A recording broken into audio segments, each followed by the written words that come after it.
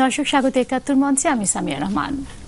সরকার পরিচালনায় জাতীয় নীতি, পররাষ্ট্রনীতি কিংবা যুদ্ধাপরাধীদের বিচার থেকে শুরু করে নির্বাচনকালীন সরকার প্রায় প্রত্যেকটি ইস্যুতে সরকার এবং বিরোধী দলের মধ্যে রয়েছে মতের ভিন্নতা।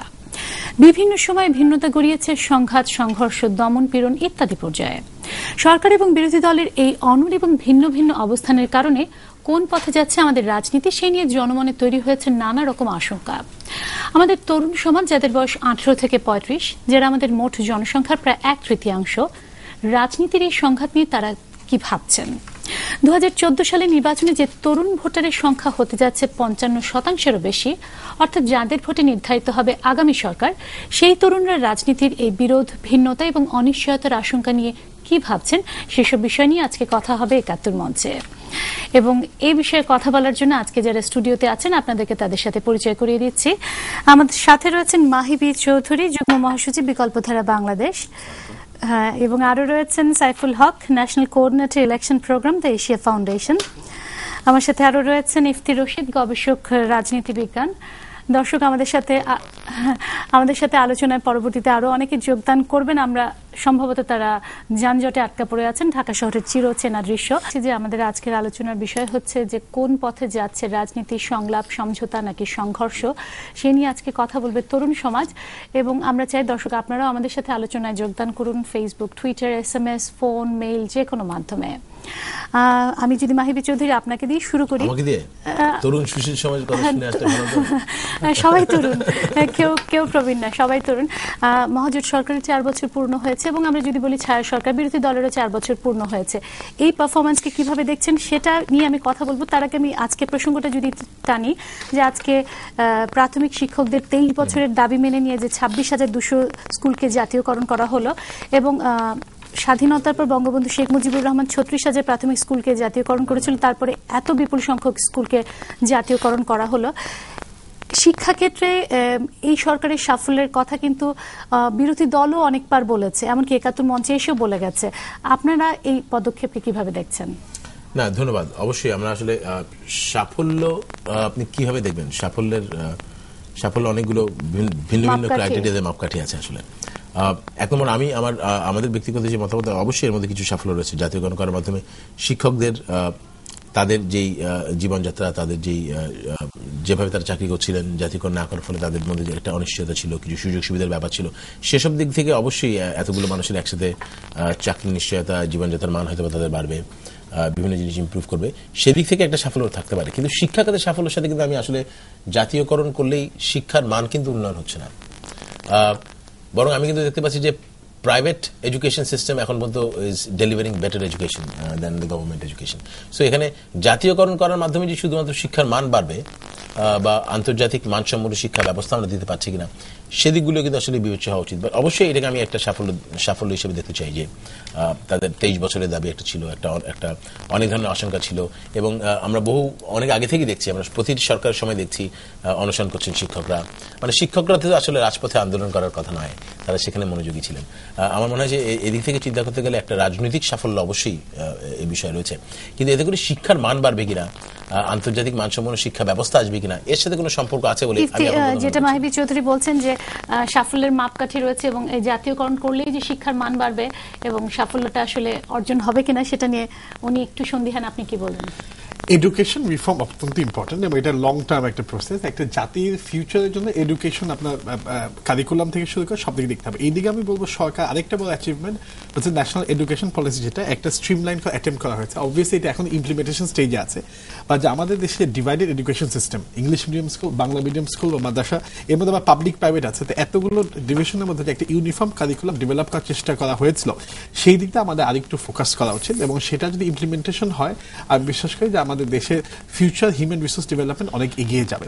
সেই দিক থেকে এই যে জাতীয়করণ যেটা দেখলেন, এটাও কিন্তু ওই ওই ওটার সাথে কিন্তু actually it it has to be compatible যে আমাদের যে নতুন রিফর্ম যেগুলো হচ্ছে এডুকেশন সিস্টেমে সেটা যখন ইমপ্লিমেন্ট করা হবে, তখনই আমরা সেই রেজাল্টগুলো দেখব। এখানে অনেক কিছু, আপনার টিচিং মেথড থেকে শুরু করে আমাদের টিচিং ক্যাপাসিটি বিল্ডিং সব দিকে করতে but it is a starting point আমি যেটা বিশেষ করি এখানে আজকে যে জাতীয়করণের একটা নিউজ দেওয়া হলো বা ইনফরমে মাননীয় প্রধানমন্ত্রী অ্যানাউন্স করলেন, এখান থেকে শুরু হবে এখানে থেকে আমরা নেক্সট পথ যেতে পারি। তো যখন এটা আপনার একটা ন্যাশনালাইজেশন হলো তো এখন এখান থেকে আমরা কীভাবে যেতে পারি সেটা নেক্সট স্টেপ বাট এটাকে সাফল্য হিসাবে ডেফিনেটলি দেখা যায়।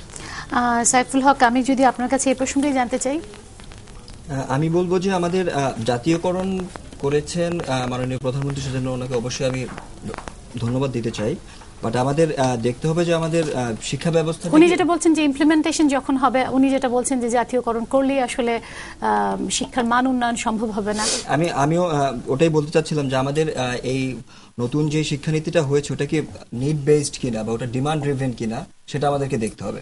কারণ আমরা দেখতে পাচ্ছি সেই একই ধরনের, একই ধাঁচের স্টাইলেই আমাদের পড়াশোনার মডেলটাকে আমরা ডেভেলপ করে যাচ্ছি, যেটা আলটিমেটলি দেখা যাচ্ছে যে ওই তরুণ সমাজ পড়াশোনা শেষ করে আমাদের ওয়ার্কফোর্সে যখন তাদেরকে জয়েন করার জন্য আমরা মাঠে এক্সপেক্ট করি, তখন দেখা যাচ্ছে যে ওদের অনেক ধরনের কোয়ালিটির ঘাটতি থাকে, যেটা আমাদের এই শিক্ষা দিয়ে আমরা পূরণ করাতে পারি এখন ওই জায়গাগুলোকে আমরা অ্যাড্রেস না করে, আমরা যদি এখন ফিনান্সিয়াল ইস্যুস গুলোকে গভর্নমেন্ট অ্যাড্রেস করে যায়। আমি বলব যে সেটা হয়তো বা আমাদের ট্যাক্স পেয়ারদের যে ইয়েটা যাচ্ছে ট্যাক্স দিচ্ছেন ওটার হয়তো বা প্রপার ইউটিলাইজেশন হচ্ছে না। সো আমি এখন চাবো যে আমাদের কারেন্ট বাংলাদেশের কনটেক্সটে যে ইস্যুগুলো আছে কারিগরি শিক্ষার প্রতি আমাদের খুব ভালো করে অ্যাটেনশন দেওয়া উচিত। আমাদের মাদ্রাসাগুলো আছে ওখানে কীভাবে আমরা কিছুটা রিফর্ম করে ওনাদেরকে আমাদের স্ট্রিম লাইনে নিয়ে আসতে পারি এই ইস্যুগুলো নিয়ে এখন আমাদের ভাবার সময় হয়েছে। আচ্ছা ইফতে আমি আপনার কাছে আসি। শিক্ষাক্ষেত্রে ওনাদের বলেছেন যে আপনিও বলছেন ইমপ্লিমেন্টেশনের ব্যাপার আছে এবং ভবিষ্যতের এটা ব্যাপার যে সবগুলোকে আমরা একভাবে নিয়ে আনতে পারি কিনা। ক্রিটিক্যাল থিঙ্কিং এনকারেজ করতে হবে এবং আপনার একটা ইউনিফর্ম কারিকুলাম যেটা আমাদের আপনার ইউনিফর্ম কারিকুলামের কথা যেটা মাদ্রাসা শিক্ষা ব্যাকডেটেড হয়ে যাচ্ছে।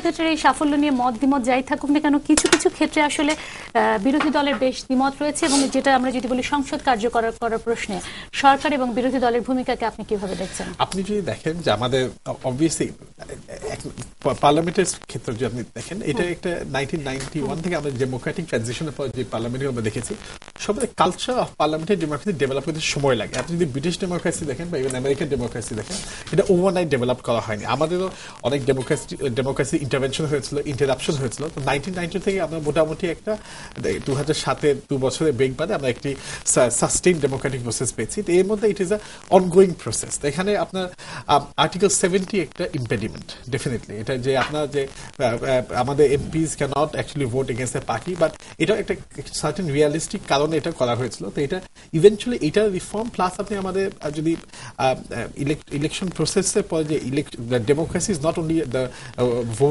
the তারপরে যে পাঁচ বছর একটা কালচার এখানে ডিসকাশন হবে সেই কালচারটা সময় লাগবে ডেভেলপ করতে। আপনি বলছেন কালচার ডেভেলপ করতে সময় লাগবে কিন্তু আমরা যথেষ্ট সময় পেয়েছি এবং আমাদের সাথে এইমাত্র যুক্ত হয়েছেন মোহাম্মদ আরাফাত নির্বাহী পরিচালক সুচিন্তা ফাউন্ডেশন। নিশ্চয়ই আপনি যানজটে আটকে গেছিলেন।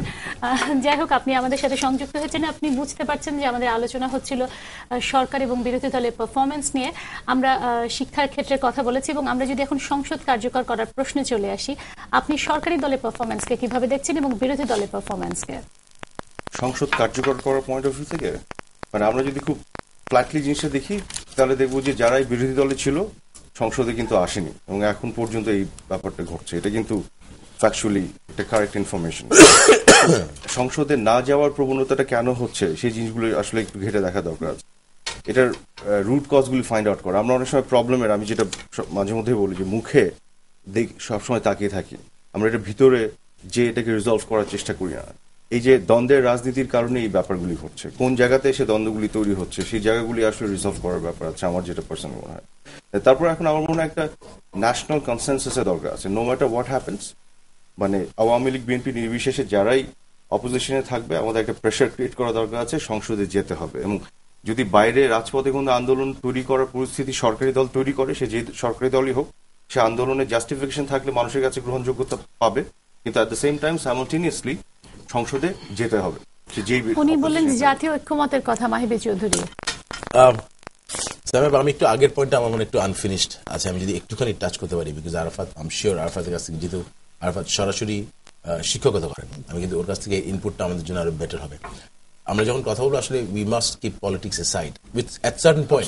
At least যখন আমরা এডুকেশন নিয়ে কথা বলব আমরা যখন আহ, কিছু কিছু এমন কিছু বিষয় আছে যেখানে আসলে রাজনীতির বিষয়টা এনে লাভ নেই। না অপরাজনীতি বাদ রেখে কথা বলব। রাজনীতি তো সবকিছুর মধ্যেই সবকিছুর মধ্যে রাজনীতি আছে পার্টিসান পলিটিক্স আমি আমি বলব, partisan politics, I want to say রাজনীতি বিষয়টাকে বাদ রেখে কথা বলার আমি যেটা মিন করেছি শুধুমাত্র অপরাজনীতি। আসলে যখনই কারও বিরুদ্ধে কোনো রাজনীতি যায় তখন তার কাছে সেটাকে অপরাজনীতি মনে হয়। আমি ওভারঅল পার্টিজান বা এই জাতি হিসেবে দেশ হিসেবে আমরা চিন্তা করি সে কথা যদি বলি। সেটা আসলে এক ধরনের রাজনীতি। প্রাথমিক প্রাথমিক শিক্ষা প্রাথমিক শিক্ষকদের এই এই জাতীয়করণ আমি এটাকে সাফল্য হিসেবে দেখছি সরকারের। কিন্তু এটা কিন্তু আমার কাছে মোর মোর আমার কাছে মনে হচ্ছে এটা রাজনৈতিক সাফল্যটা এখানে বেশি। যেহেতু এখানে তেইশ বছরের একটা তার মানে সেই পলিটিক্যাল বিষয়টা এখানে আসছে। রাজনৈতিক বিষয়টা চলে আসে। কিন্তু আমি যদি রাজনৈতিক সাফল্যের বাইরে গিয়ে দেখার চেষ্টা করি can we address it in different way আপনি দেখেন প্রাথমিক শিক্ষক নিয়োগ এটা কিন্তু একটা বিরাট ইস্যু বিকজ প্রাথমিক শিক্ষকরা নির্বাচনের সাথে সরাসরি সম্পৃক্ত। প্রাথমিক শিক্ষকদের নাইনটি পার্সেন্ট সরাসরি আমার পোলিং অফিসার হয়। এ কারণে প্রতিটি দলীয় সরকার যখন ক্ষমতায় আসে এই প্রাথমিক শিক্ষক নিয়োগে রাজনীতিকরণের ইস্যুটা কিন্তু থেকেই যায়। অতএব অন্যান্য দিক থেকে আমি যেতে যাচ্ছি যে রাজনৈতিক সাফল্য অবশ্যই আছে। তেইশ বছরের একটি জটিলতা নিরসন করে প্রধানমন্ত্রী একটি ঘোষণা দিয়েছেন এবং প্রাথমিক শিক্ষকরা রাজনৈতিকভাবে এটা একটা অবশ্যই আওয়ামী লীগের বা সরকারের সাফল্য। ইয়াস কিন্তু এতে করে শিক্ষিত জাতি গঠনের ব্যাপারে জাতি কতটুকু উপকৃত হবে সেটা কিন্তু আমাদের রাজনীতির বাইরে গিয়ে খোলা মন নিয়ে আমাদের আলোচনা করা উচিত। এক নম্বর এই নিয়োগ পদ্ধতিটা নিয়ে আপনি দুই নম্বর যেটা ইফতি কিছুটা বলেছে যে education system the curriculum the the teaching method এই সমস্ত জায়গায় উন্নয়নের সাথে কিন্তু আসলে প্রাথমিক শিক্ষকদের শুধুমাত্র জাতীয়করণের মাধ্যমে হিসাবে যে আমরা ইমপ্রুভ করতে পারব না।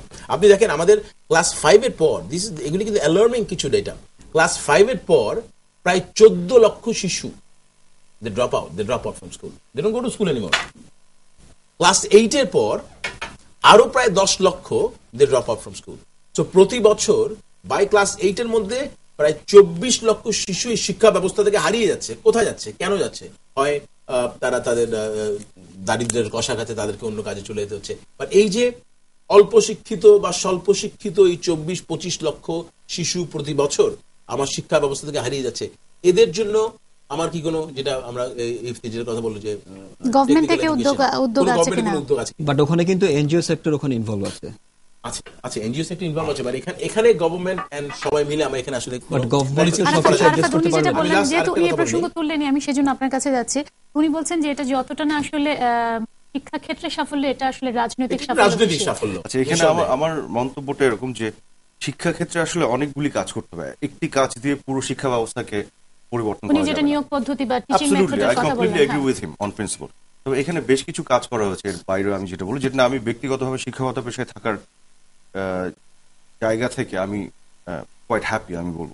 ধরুন, সৃজনশীল পরীক্ষা পদ্ধতি, প্রশ্ন পদ্ধতি করার যে বিষয়টি, আমরা সৃজনশীলতা হারিয়ে ফেলছিলাম। আমি শিক্ষক, বিশ্ববিদ্যালয়ের শিক্ষক হিসেবে আমি দেখেছি যে যারা বিশ্ববিদ্যালয়গুলোতে পড়ছে, তাদের প্রশ্নের উত্তর লেখা এবং সেখানে গ্রামাটিক্যাল এরার যেগুলো করে, বিভিন্ন ধরনের মিস্টেক তারা যেগুলো করে এবং উদ্ভট কিছু মিস্টেক যেগুলো আমরা ইউনিভার্সিটি লেভেলে এসে কিন্তু শেখানোর কোনো না। এগুলো স্কুল থেকে শেখা হ্যাঁ। তো এই যে প্রবলেমগুলো কিন্তু আমার থেকে গেছে। এবং আমরা সবসময় মুখস্থ করে আহ, এই পরীক্ষার খাতে উগলে দিয়েছি। এই ধরনের একটি পদ্ধতির মধ্যে ছিলাম। সে জায়গা থেকে সৃজনশীল পরীক্ষা পদ্ধতি এবং এটা কিন্তু খুব কঠিন ছিল। এটা কিন্তু ইন্ট্রোডিউস করা হয়েছে এবং মোটামুটি ইমপ্লিমেন্টেড হয়েছে। এটার জন্য শিক্ষকদেরকেও ট্রেনিং করা হয়েছে। এই জায়গা থেকে একটা ভালো ভালো অ্যাচিভমেন্ট এসছে আমি বলব। আরেকটি যেমন একটি শিক্ষা কমিশন করা হয়েছিল প্রফেসর কবি চৌধুরী নেতৃত্বে আমরা জানি। এখানে মোহাম্মদ জাফর ইকবাল ছিলেন। এবং একটি আধুনিক জ্ঞান ভিত্তিক শিক্ষা যে পলিসি হওয়া উচিত সেটা নিয়ে কিন্তু একটা শিক্ষানীতি চলে এসছে এবং সেই শিক্ষানীতির ইমপ্লিমেন্টেশন কিন্তু বিভিন্ন আচ্ছা, ছোট্ট করে যদি বলতে চাই যে আজকে যে বিষয়টি নিয়ে আপনারা আলোচনা করতেন যে জাতীয়করণ যে বিষয়টি যেটা একটি উপাদান। এই উপাদান সবকিছু করে দেবে না। কিন্তু এই উপাদানটিও জরুরি ছিল। কারণ শিক্ষক যারা প্রাথমিক পর্যায়ে যারা শিক্ষা দিচ্ছে তাদের যদি আপনার অর্থনৈতিক বিষয়টা যদি আনসার্টেন থাকে তাহলে তো তাদের পক্ষে ভালো শিক্ষা দেওয়া প্রবলেম সে যাতে মাহির একটা কথা সেটা আমি বলব। যে এই শিক্ষকরা ইলেকশনের সাথে সরাসরি জড়িত that's very true but at the same time সে জড়িত বলে এটাকে অ্যাডভান্টেজ নেয়ার জন্য যে কোনো পলিটিক্যাল দল যদি ওই কাজটুকু করে করার পরে যেহেতু তারা রাজনীতি করছে let this be Awami League BNP but let the work done I absolutely disagree এই পয়েন্টটাতে আমি প্রাথমিক শিক্ষক নিয়োগ যদি আমার রাজনীতিকরণ হয় আমি যখন আমি যখন বিএনপির এমপি ছিলাম আমাকে let me- আমাকে ক্লিয়ারলি বলি। আমাকে আমি- আমি মনে একটু- আমি পরিষ্কার করতে চাই, কারণ মনে হচ্ছে আমার না তবু কিছু কাজ হোক এটাই তো। না না না আমি সেটা বলি না। আমি যেটি বলছি রাজনীতিকরণ বলতে আমি বলছি না যে দলীয়করণ আমি বলেছি আমি একটা কমিটমেন্ট করেছি সেই কমিটমেন্টটা আমি ফুলফিল করেছি দেশের জন্য। এবং করে আমি ক্রেডিট নিতে যাচ্ছি সামনে ইলেকশন যে দলই যে দলই হোক যে দলই হোক অসুবিধা কি? এইভাবে তো আমরা এগিয়ে যাব আমি সেই জায়গা থেকে বলে সেই জায়গা থেকে হতে পারে কিন্তু আমি আমার কথা হচ্ছে রাজনীতিকরণের এই জায়গাটা আমি কেন ডিসএগ্রি করি? আমি যখন এমপি ছিলাম তখন আমার কাছে হঠাৎ করে এবং আমি এটা শুধুমাত্র আজকে বিএনপির বিরুদ্ধে হতে চলে যাবে জিনিস। এবার আমি sure it same thing happens with Awami League. আমি তো আওয়ামী লীগ এমপি ছিলাম না বলতে পারব না। আমি বিএনপি এমপি থাকা অবস্থায় আমার কাছে চিঠি আসতো লিখিত যে প্রতি এলাকায় শিক্ষক নিয়োগ হবে প্রাথমিক শিক্ষক। আমি আমাদের পছন্দের লোকগুলির নাম এখনও জানো একটি জায়গা মতো একটি জায়গার কথা বলা যায় এখানে পাঠিয়ে এমন শিক্ষক নিয়োগের সাথে আমি আমার পছন্দের লোক চুজ করব কেন? What am trying to say আমার আমার দাদা গ্রামের একটি স্কুল থেকে আহ, এবং সেখান থেকে তিনি পাশ করে পরে কলকাতায় গিয়েছেন, তিনি লয়ার হয়েছেন এবং অত্যন্ত শিক্ষিত মানুষ হিসেবে সমাজে প্রতিষ্ঠিত ছিলেন এবং আমি তার তার লেখাগুলো দেখেছি, লেখাগুলো পড়েছি। এবং বলছি যে গ্রামের কালীকুশু উচ্চ বিদ্যালয় থেকে পাশ করে ছেলে, সে থেকে প্রায় যখন বড় বারো হান্ড্রেড ইয়ার্স গো তো অথবা seventy seventy seventy five years এই জিনিস এই স্ট্যান্ডার্ডটা তো তখন ছিল। আমি শিক্ষা খাতে আমরা জানেন আমরা আমরা আমাদের কোনো আইডিয়া আসলে এটা এমন একটা সাবজেক্ট আসলে আরো- অনেক কথা বলা যায়। হ্যাঁ, আমরা আরেকদিন শিক্ষা নিয়ে শিক্ষা নিয়ে প্রসঙ্গে শুধু এই বিষয়ে কথা বলা উচিত কেননা এই যে শিক্ষক নিয়োগে আজকে যেই ছেলেমেয়েরা এটা this is a fact for fact কারা প্রাইমারি শিক্ষক হিসেবে নিয়োগ পাচ্ছে? যাদের আসলে আর কোথাও কোনো সুযোগ হয়নি। সবচাইতে খারাপ ছাত্রগুলো সবচাইতে বিফলে যাওয়া মানুষগুলোকে যদি আমরা শিক্ষক হিসেবে নিয়োগ দিই তারপর আমি জাতীয়করণ করি আর যেই পলিসি করি আর যেই শিক্ষানীতি করি আমি আসলে শিক্ষা দান করতে পারব কিনা? ট্রেনিং এ আমি বরং মনে করি প্রাইমারি শিক্ষকদের যে কোনো ভাবে নির্বাচনী প্রক্রিয়া থেকে সরিয়ে আনা।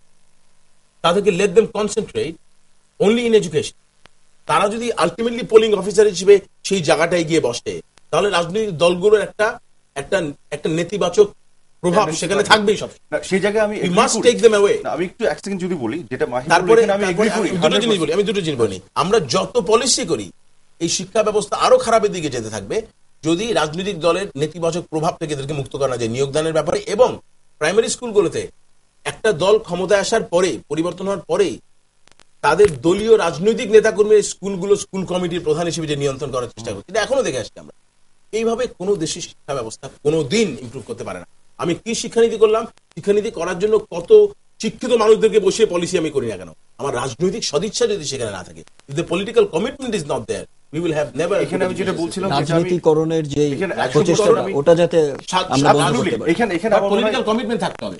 আমাদের রাজনৈতিক দলের দলীয় সরকারগুলো কোনো পলিটিক্যাল না, কমিটমেন্ট আমি এখানে একটু আমি শুধু যদি ভোটে জিতার জন্য নির্বাচনী ইয়ে করার জন্য রাজনৈতিক সাফল্য নেওয়ার জন্য হাজার হাজার শিক্ষকের সমর্থন নেওয়ার জন্য রাজনীতিকরণ করে দিলাম আমি জাতীয়করণ করে দিলাম এটাকে এর পাশাপাশি বাকি কাজগুলো না করলে একটু স্টার্ট এবং সেখান থেকে আপনার দেখতে হবে।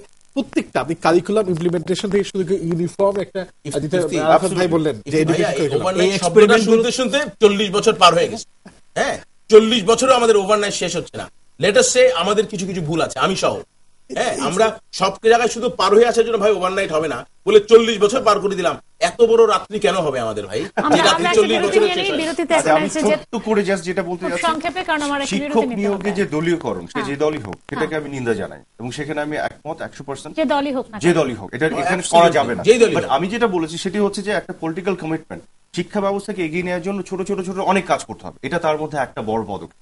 এরকম একটা পদক্ষেপ যদি কমিটমেন্ট থাকে একটা পলিটিক্যাল পার্টি এবং সেটা করার পরে যদি সে ক্রেডিট নিতে চায় রাজনৈতিক ভাবে that is okay with me কিন্তু দলীয়করণ করা যাবে আমি সেই জায়গা থেকে বলেছি। আমরা একটা দেখছেন একাত্তর মঞ্চে বিরতির মধ্যে একটা জমজমাট আলোচনা হচ্ছিল। আমরা আলোচনা শুরুর আগে একটু দর্শকের কথা শুনে আসি এবং এই চার বছরের সরকার এবং বিরোধী দলের পারফরমেন্স নিয়ে দর্শক কি বলছে সেটা একটু দেখে। সবচেয়ে বড় সফলতা হলো বিগত চল্লিশ বছর পরে হলেও এই সরকার যুদ্ধ অপরাধীদের বিচার বাংলার মাটিতে শুরু করেছে এবং শেষ করার প্রত্যয় ব্যক্ত করেছে। যুদ্ধ অপরাধ তো আর দশ এগ- এগারো জন লোকে করে নাই। যুদ্ধ অপরাধের সাথে হাজার হাজার লোক জড়িত আছে। আমরা চাই যে প্রত্যেকেরকে বিচারের আওতা আনার জন্য। এটা যাতে রাজনৈতিক উদ্দেশ্য প্রণোদিত না হয়। বর্তমান শিক্ষা ব্যবস্থার যে নৈরাজ্যকর অবস্থা ছিল তার থেকে তারা অনেকটা মুক্ত করতে পারছে। কিছুদিন আগে হরতালে যে বিশ্বজিৎকে হত্যা করল এটা সচককে এবং পুলিশ এখানে নীরব ভূমিকা পালন করছে। প্রধান বিরোধী দল এবং সরকার একটা সমন্বয় তাদের সমন্বয় প্রচেষ্টার মাধ্যমে আমরা একটা নিরপেক্ষ নির্বাচনে আশা করতেছি। এই সরকার যেমন অনেক উন্নয়নমূলক কাজ করতেছে যেমন এক ফ্লাইওভার। ফ্লাইওভারের জন্য ঢাকাতে অনেক যানজট নিরসন হবে। ক্ষমতা যাওয়ার আগে উনি বলছিল দ্রব্যমূল্য নিয়ন্ত্রণ। আর ঘরে ঘরে চাকরি পদ্মা সেতু বাস্তবায়ন করে সে যাবে। কিন্তু তার কিছুই বাস্তবায়ন করতে পারেনি। একই সরকার পরিবর্তন হয়ে আসতেছে। হয় আওয়ামী লীগ হয় বিএনপি। কিন্তু অ্যাকচুয়ালি আমাদের দেশে শুধু গ্লাস ঠিক আছে শুধু পানিটা পরিবর্তন হচ্ছে। কিন্তু এই পানিটা এতই ঘোলা যে এই গোলাটা পানিটা যখন গোলা পরিষ্কার না পরিষ্কার না হবে তখন তো আমার দেশের কোনো পরিবর্তন হবে না। এইভাবে যদি তত্ত্বাবধায়ক সরকার প্লাস আসবে না এরা বলবে আসবে এইভাবে যদি করা হয় তাহলে এক সময় দেখা যাবে দেশ আবার পুনরায় সেই এক এগারোর পুনরাবৃত্তি ঘটবে আমি মনে করি তত্ত্বাবধায়ক সরকারের থেকে নির্বাচন কমিশনের আরও শক্তিশালী হওয়া উচিত। অনেক সাফল্যের মধ্যে একটা সাফল্য হচ্ছে যুদ্ধাপরাধের আহ, বিচার আহ, পরিচালনা করা। এর মধ্যে বিরোধী দলের ভূমিকা? অনেকগুলো বিষয় নিয়ে প্রশ্ন উঠেছে জনগণ প্রশ্ন তুলেছে। গ্লাস ঠিক আছে পানিটা পরিবর্তন হয়। আরাফাত আমি যদি আপনার কাছে যাই যে আইনের শাসন এবং যেহেতু বিশ্বজিতের কথায় আসলো আইনের শাসন এবং দুর্নীতি রোধের প্রশ্নে দুজোটের কার্যক্রমকে আপনি আসলে কীভাবে দেখেন? না আইনের শাসন আর দুর্নীতির ব্যাপারটা হচ্ছে এখানে তো আপনার কিছু ইনস্টিটিউশনাল রিফর্মস লাগবে। তাছাড়া আইনের শাসন কথায় কথায় আসবে। কোন গভর্নমেন্টগুলি ওই ইনস্টিটিউশনাল রিফর্মস গুলি কতটুকু কি করেছে এবং সেই ইনস্টিটিউশনগুলি কতটুকু কেমন বিহেভ করছে তা এটাতে আপনাকে মেজার করতে হবে। এটা আসলে খুব বিশাল একটা টপিক এই টপিকে আপনি যদি সংক্ষেপে বলেন এই এই সরকারের কথাই বলেন। না একটা জিনিস হচ্ছে এই দুদক যে প্রতিষ্ঠান যেটিকে বিএনপির আমলে হয়েছিল সেদিক থেকে বিএনপিকে আমি ক্রেডিট দিতে চাই। তারা তৈরি করেছিল জন্ম দিয়েছিল কিন্তু জন্মের পরে কি আচরণ করেছিল আমরা দেখেছি। বাট এটাও ঠিক যে জন্মের সাথে সাথেই তো একেবারে দৌড়- দৌড়ানো শুরু করবেন এটি আজকে সে দুদকের যে এটাকে নিয়ে অনেক সমালোচনা আছে কিন্তু, এবং দুদকের সমালোচনা আপনি করতে গেলে একশোটা সমালোচনা করতে পারবেন, কোনো সন্দেহ নাই। কিন্তু ইফটি যে কথা বলছো সে জায়গায় আমি ফিরে যেতে চাই। ইউকের ডেমোক্রেসি হাজার বছরের ইউএস এর ডেমোক্রেসি তিনশো বছরের, বাংলাদেশের বয়সই চল্লিশ বছর। দুদকের মতন প্রতিষ্ঠানের, আমার ডেমোক্রেসি বয়স বিশ বছর। দুদকের মতন প্রতিষ্ঠান যেগুলো ডেমোক্রেসিকে স্ট্রেনদেন করবে, সুশাসন প্রতিষ্ঠা করবে, তার বয়স দশ বছর, বারো বছর। তো ওদের কাছে তো আমি ওই বিহেভ এক্সপেক্ট করব না। তারপরও বাংলাদেশে একটা প্যারাডাইম শিফট হয়েছে আমি বলব। যে মন্ত্রী পদমর্যাদার লোকজনগুলি যে দুদকের বারান্দায় হাঁটাহাঁটি করছে, এদেরকে যে ডেকে ইন্টারোগেট করা হচ্ছে, বাংলাদেশে এগুলো আনহার্ড অফ এগুলো হয় নাই কিন্তু। তো এখানে যে খুদগুলি আছে সেগুলো আমরা বলব, বলতে চাই। But at the same time যে জায়গাগুলোতে আরও প্রগ্রেসের সুযোগ আছে সেগুলো আমরা আইডেন্টিফাই করে এগুলো বলব। অ্যাচিভমেন্ট গুলোকে আমরা কগনিজেন্স নিতে চাই আর কি যেভাবে আমি দেখতে চাই। মানে we definitely want to criticize but we don't want to spread frustration among the people বাংলাদেশের মানুষকে যেটা হচ্ছে যে যারা এবং আপনি আপনারা বারবার বলছেন যে সময়ের ব্যাপারটা আছে। মাহিবি চৌধুরী আপনি কি তাই মনে করেন যে যথেষ্ট সময় পাওয়া যায়নি? না আসলে অনেকগুলো ইস্যু এখানে আছে। সময় পাওয়া যায়নি আমি বলব। সময় যথেষ্ট পাওয়া গেছে এবং এর মধ্যে কোনো ইমপ্রুভমেন্ট হয়নি। একদম একেবারে আমি আই এগ্রি উইথ আরাফাত যে অবশ্যই আমরা দুদকের বারান্দায় মন্ত্রী বা মন্ত্রী পদমর্যাদার লোকজন হাঁটাহাঁটি করতে দেখছি। এটা কিন্তু আগে আনহার্ড এবং এই যে একটা শুরু হয়েছে definitely this is an achievement এই ব্যাপারে আমার সন্দেহের অফকোর্স যে মানে এই যে ওভারনাইটে হবে না মানে চল্লিশ বছরে এক রাত পেরিয়ে মাত্র শুধুমাত্র মন্ত্রী পদমর্যাদা কাউকে হাঁটাহাঁটি করতে পেরেছি এটাই যদি আমরা খুশি হয়ে যাই তাহলেও চলবে না।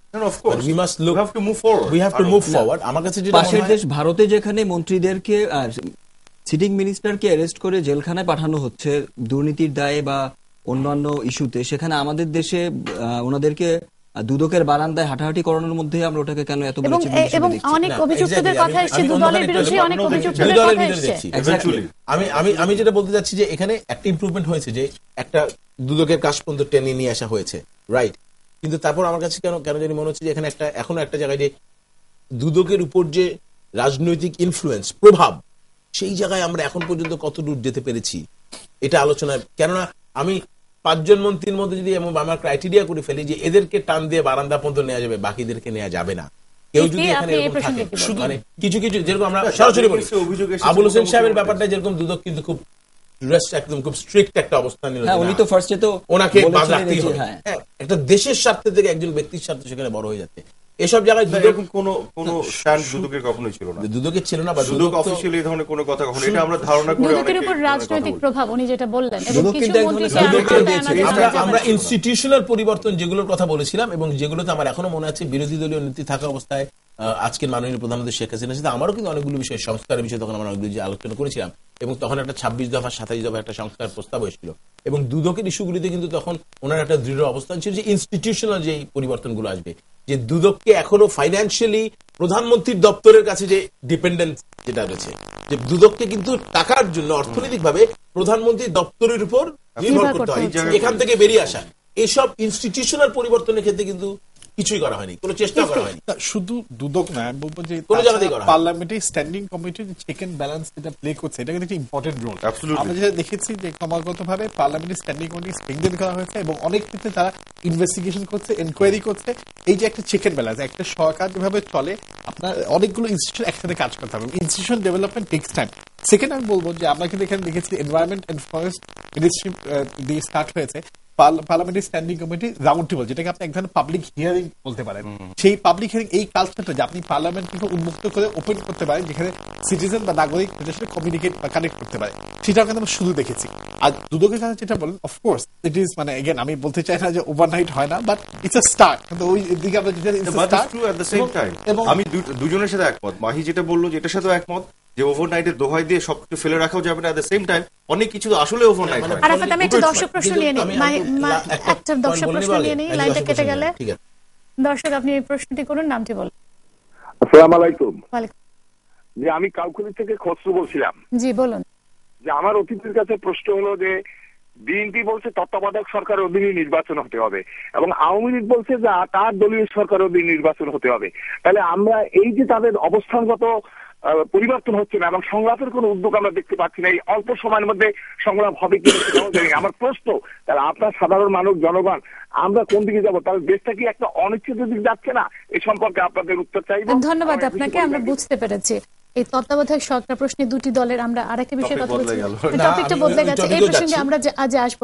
আহ, আমি ওভারনাইটের বিষয়টা একটা পয়েন্ট আমার আছে অনেকগুলো জিনিস আছে যেগুলো ওভারনাইট হবে না যেগুলো আসলে মাইন্ডসেটের বিষয় রয়েছে কালচারাল কিছু ডেভেলপমেন্টের বিষয় রয়েছে যেগুলো আসলে টেক্স জেনারেশন আলটিমেট একটা অ্যাচিভমেন্ট নিয়ে আসতে। বাট কিছু ইনস্টিটিউশনাল বিষয়ে পলিটিক্যাল কমিটমেন্ট থাকলে, রাজনৈতিক সদিচ্ছা থাকলে ওভারনাইটই সম্ভব। তারপর আমরা অনেক বছর পার করে এসেছি। সি বাংলাদেশের মাটিতে একাত্তরের যুদ্ধাপরাধীরা তাদের গাড়িতে পতাকা উড়িয়েছে এত শক্তিশালী অবস্থানে ছিল। সেখান থেকে এই সরকার কিন্তু তাদেরকে শুধু কাঠগড়াতে ওঠায়নি, তাদের বিচার এর মধ্যে শেষ হবে বলে মানুষ আজকে বিশ্বাস করতে শুরু করেছে। Because there was a political committee সুতরাং দুদকের ইনস্টিটিউশনাল পরিবর্তন করার জন্য ওভারনাইট সময়ের এখানে it is an overnight thing এক ঘণ্টার সিদ্ধান্ত প্রধানমন্ত্রী। আরেকটা এখানে কিন্তু আরেকটা ইস্যু আছে যেখানে do you want to do it? প্রধানমন্ত্রীর দপ্তর থেকে তাকে ইন্ডিপেন্ডেন্ট করা অর্থনৈতিক ভাবে এটা এটা এটার সাথে আমার এটার সাথে আমার পাঁচ বছর লাগার কি আছে? আমি আসলে প্রধানমন্ত্রী maybe I দপ্তর don't থেকে understand. অর্থ- অর্থনৈতিকভাবে ইন্ডিপেন্ডেন্ট করার প্রয়োজন আছে এগ্রি বাট এখানে বাজেটের বিষয় আছে সম্পদের সীমাবদ্ধতার বিষয় আছে no, আমি একই বাজেটই দেই ভাই আমার কথা যে দশ টাকা পাচ্ছি সে দশ টাকাই পাক প্রধানমন্ত্রীর দপ্তরের কাছে তার টাকার জন্য বসে থাকতে গেলে না, দুদক তো- দুদক আচ্ছা আমরা দুদকের অর্থনৈতিক ইস্যুটাকে বাদ দিয়ে আমরা দুদকের যেসব নীতি ছিল এটা কিন্তু সাংবিধানিক। যেসব দুদক কিন্তু এমনিও কনস্টিটিউশনাল বডি এটা সাংবিধানিক স্ট্যাচুটরি বডি. যার কারণে দুদকের ওই স্বাধীনতা আছে। dependence- নাই. বাট দুদককে আরও শক্তিশালী করার জন্য যেসব সাজেশন দেওয়া হয়েছিল যে ধরনের ইনিশিয়েটিভ নেওয়া হয়েছিল সেটা কেন সরকার শুরু করে ওটা আবার বন্ধ করে দিল? আজকের মাননীয় প্রধানমন্ত্রী নিজের মুখে যে পাঁচ চারটি বা পাঁচটি দাবি ছিল সেই সাতাশ দফার মধ্যে দুদকের ব্যাপারে সেগুলি তো উনি বাস্তবায়ন। তারপর ইফতি পার্লামেন্টারি স্ট্যান্ডিং কমিটিগুলোর কথা বলেছেন। নতুন কিছু কমিটিগুলো সব ফর্ম হয়েছে। It was a very good beginning but তারপরে যেটা হলো যে পার্লামেন্টারি স্ট্যান্ডিং কমিটিগুলোকে আরও শক্তিশালী করার জন্য বিল আনা হয়েছিল। আমরা শুনেছি আমরা তখন আমরা সবাই এক্সপেক্ট করেছিলাম যে এই বিলটা এসেছে এবং অ্যাকর্ডিংলি সংসদে এগুলো পাস হবে। কিন্তু এগুলো কেন এখন হাইবারনেশনে আছে সেটা এখন আমরা জানি। এনকোয়ারি হচ্ছে ইনভেস্টিগেশন হচ্ছে এবং most importantly partisan by partisan একটা ডায়ালগ হচ্ছে। যেটা আমরা বলি যে যে কোয়েশ্চেনটা উঠেছিল যে পার্লামেন্টারি কালচারাল ডেভেলপ হচ্ছে। কিন্তু অ্যাটলিস্ট আমরা কমিটির রুমে কিন্তু বিএনপি এবং আওয়ামী লীগের মধ্যে এবং সরকার বিরোধী দলের মধ্যে আমরা এক ধরনের একত্রে কাজ করা একটি উদাহরণ কিন্তু দেখতে পাচ্ছি। এবং আমরা অনেকগুলো ইস্যুতে আপনি দেখবেন যে actually across the political divide they have cooperated in the parliamentary standing committee তো এটাকে আমি বলছি যে পার্লামেন্ট যে পুরাপুরি অকার্যকর হয়ে গেছে সেভাবে দেখা উচিত না। পার্লামেন্টের ওই যেটা প্লেনারি সেখানে হয়তো কোনোভাবে ডায়ালগ বা ডিসকাশন হচ্ছে না। বাট কমিটি ফ্রেমওয়ার্কের মাধ্যমে কিন্তু আমরা অনেক. অ্যাক্টিভিটিস বাট দেখছি কিন্তু। সুশাসন প্রতিষ্ঠার জন্য পার্লামেন্টারি হতে পারে বাট পার্লামেন্ট আমাকে গত পাঁচ বছর কিছু ডেলিভার করতে এক্স্যাক্টলি আমরা এখন আমাদের এখন একটা বিরতিতে যেতে হচ্ছে বিরতির পর আবার আমাকে কি পেলাম আমি। আমি শেষ পর্যন্ত কি পেলাম স্ট্যান্ডিং parliament-এ? কমিটিগুলোকে এখনও আমরা শক্তিশালী আলোচনায় ফিরে আসব। দশ প্রশ্ন করেছিল মাহিবী চৌধুরী আমি যদি এই প্রশ্নটার উত্তর আপনার কাছ থেকে নেই এই যে আমাদের দেশে আসলে যে রাজনৈতিক অনিশ্চয়তা কোন দিকে যাচ্ছে দেশটা? দলীয় সরকারের অধীনে নির্বাচন হলে সেই নির্বাচন নিয়ে প্রশ্ন ওঠে। তত্ত্বাবধায়ক সরকারের অধীনে নির্বাচন হলে সেই নির্বাচন নিয়ে প্রশ্ন ওঠে। এই যে পরস্পরের প্রতি অনাস্থা এবং আমরা তাদেরকে নির্বাচিত করি রাজনীতিবিদদের তারা পরস্পরকে বিশ্বাস করতে পারে না অনির্বাচিত ব্যক্তিদের কাছে নির্বাচনকালীন সরকার গঠন করতে চায়। এটা আসলে কতটা সম্মানজনক বলে মনে করেন? ধন্যবাদ। আপনার প্রশ্ন অনেকগুলো দিকে চলে যাবে। আমি এটাকে খুব সংক্ষেপে, কারণ আমাদের সময় মনে করি কিনা আসলে সেই সেই সেই প্রশ্নের উত্তর দেওয়ার সময় আসবে। সম্মানজনক না হলেও এমন হতে পারে যে এটাই হয়তো এখন বাধ্যবাধকতা পরিস্থিতির কারণে। অবশ্যই অনেক সময় অসম্মানজনক কাজ আমাদেরকে করতে হয় বাধ্য হয়ে। সিচুয়েশন হ্যাঁ এটা মানে ইয়োর এন্ড জাস্টিফাই মিন আসলে আলটিমেটলি কি করতে গণতন্ত্র প্রতিষ্ঠার জন্য এরকম একটি অসম্মানজনক অবস্থায় এখনও বদ্ধ এই জন্য অবশ্যই সেটা দুঃখজনক বাট এটা ছাড়া যদি কোনো উপায় না থাকে তখন কিছু করার আমি সে পয়েন্টে যাব না। আমি মনে করি আহ, একটা বিরোধিতা থাকতে পারে বিরোধ থাকতে পারে মতবিরোধ থাকতে পারে এবং আহ, গণতান্ত্রিক একটি ব্যবস্থায় আমাদের মতের অমিল থাকবে।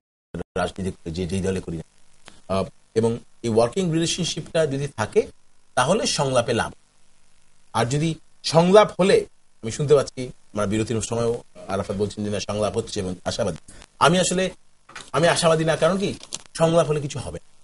আমরা এর আগেও মান্নান মান্নান ভুইয়া সাহেব এবং দিল্লি সাহেবের সংলাপ সংলাপ তখনই সফল হবে যদি সংলাপে দুই নেত্রী বসে এছাড়া না। তখনই সফল হবে যখন যদি দুই নেত্রী বসেন। আরাফাত আপনি কি আপনি কেননা কেননা আমরা বাই পার্টিজান বলি আর যাই বলি আসলে পুরো দেশটা এই দুইজন ব্যক্তির কাছেই।